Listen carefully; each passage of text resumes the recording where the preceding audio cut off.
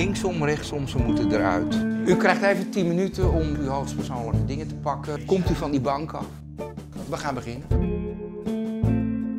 Er is natuurlijk nooit iemand die zegt van, goh, ben ik blij dat jij langs geweest bent vandaag. Ik hoor wel een hond. U vis achter het net. Het is niet huis. Van mijn zus. Oh, Want ik heb namelijk eh, jarenlang geschreven dat ik geen geld heb. En dat blijft ook zo. oh, dat is het plan voor de rest van uw leven. En toen lag er in één keer een baby. Dan denk ik, waar ik voor kom, het niet hebben van geld, dat is dan nog het minste probleem wat daar leeft. Wij leven toch in een kapitalistische maatschappij. Als jij iets bestelt bij iemand, dan moet dat betaald worden in principe. You know